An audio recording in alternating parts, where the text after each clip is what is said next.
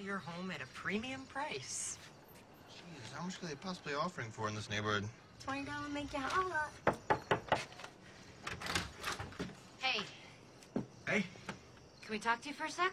does no one use a fucking phone anymore? Hurry, he's gonna close in five Yes, minutes. I'm going. I'm going. I gotta run an errand. You wanna talk, we gotta walk.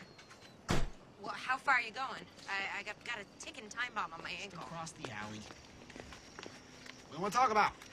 Can you get Ian to see that doctor I told you about? He's not sick anymore. But he will be. You don't know that. If he's anything like our mother, we do.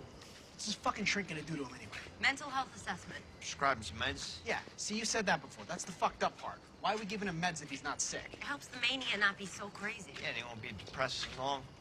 Like last time? All right, hold up, hold up. Stay here, all right?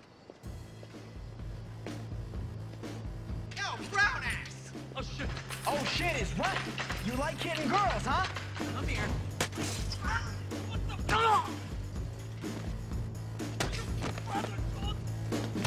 Curry says what? This is his errand?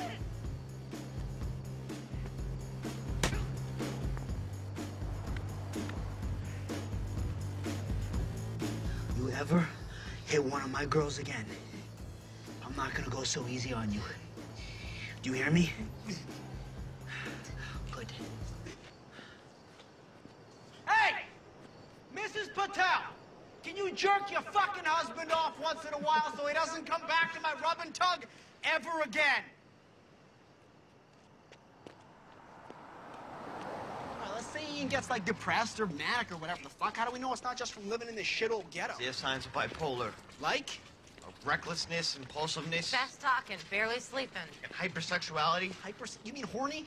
What 17 year old gay kid isn't horny?